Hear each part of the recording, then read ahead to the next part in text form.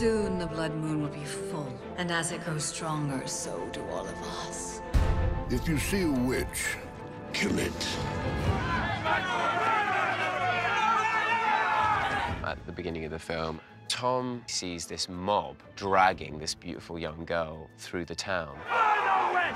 And he feels an impulse to save her. I am Master Gregory's apprentice. If she's a witch, then I'll deal with it. Essentially, his task is to find witches, hunt them, and kill them. But he cannot believe that this young creature is a witch. You don't look like a witch. And they have this instant connection.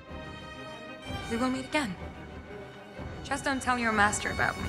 Our two characters have this magic that happens between them. So you are a witch. She has a mystery to her, and he just can't really get her out of his head. We're not all evil, you know, as your master would have you believe. He's being pulled one direction to the girl he's falling in love with, and on the other end of the spectrum is Master Gregory, who is teaching him how to fight witches. There are witches that need killing. It's certainly not the typical Hollywood romance.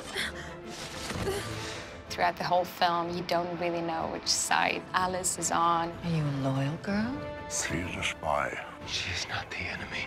And it's mixed up Tom's ability to fight this evil and save humanity.